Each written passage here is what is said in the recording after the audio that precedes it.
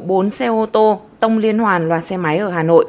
Cú va chạm của tài xế ô tô Santa Fe vào đêm 28 tháng 7 khiến một người không qua khỏi, 5 người bị thương, đồng thời khiến 10 phương tiện các loại hư hỏng. Liên quan vụ tai nạn liên hoàn tại nút giao Ngô Thị Nhậm Hà Đông Hà Nội, nguồn tin của Dinh cho hay, bước đầu xác định nguyên nhân là tài xế xe Santa Fe Hà Thanh Hưng sinh năm 1977 ở Yên Bái, tạm trú tại phường La Khê, quận Hà Đông, không làm chủ tốc độ dẫn đến tai nạn. Công an quận Hà Đông đã tạm giữ Hà Thanh Hưng, đồng thời làm các xét nghiệm liên quan đến nồng độ cồn và ma túy đối với nam tài xế. Theo báo cáo ban đầu của Ban An toàn Giao thông Hà Nội, tài xế trên âm tính với ma túy và không ghi nhận có nồng độ cồn trong cơ thể.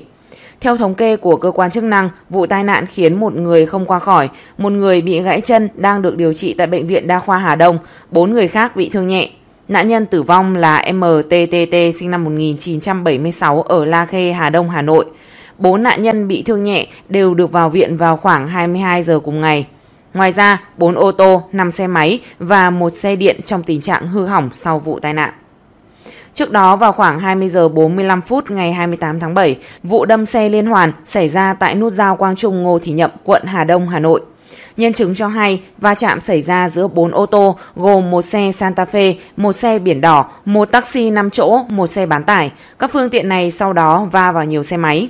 Tại hiện trường, nhiều xe máy hư hỏng nằm giữa đường, đầu xe Santa Fe tông vào thân xe biển đỏ, chiếc bán tải tông nát xe taxi cách đó khoảng gần 200 mét.